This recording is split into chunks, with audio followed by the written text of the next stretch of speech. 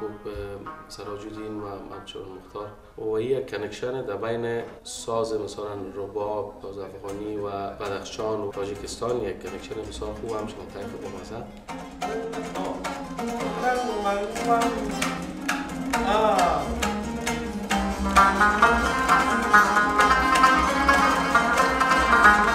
عجیبش همین که باز اسباب دوتار با اسباب اینا بسیار هم صدا شد. اول مشکلی شد بعد بعد جای خودش رو یافت. یعنی برای دوتار اسباب من کمی این بلندتر بود جورش.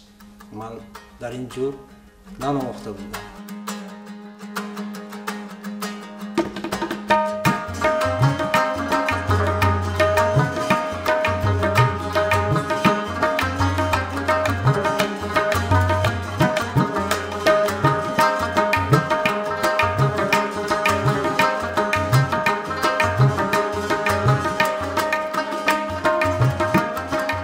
Afghanistan's really been a melting pot for a lot of different cultures and the exchange with India, North India, you're eventually exchanging culture, food, music.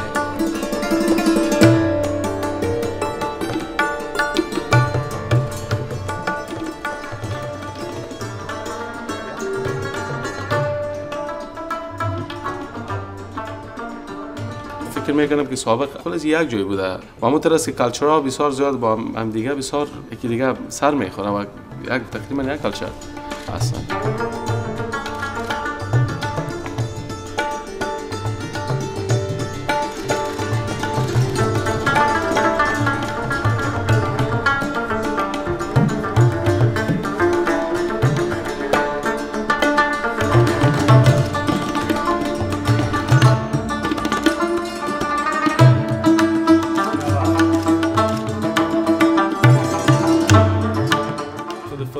Santoor and the rabab come together, and I have admired uh, Humayun's style of playing, and I think uh, it's it's really uh, complemented the santoor beautifully because the santoor is uh, a little sharper in sound, and the rabab just complements it with the bass and the warmth.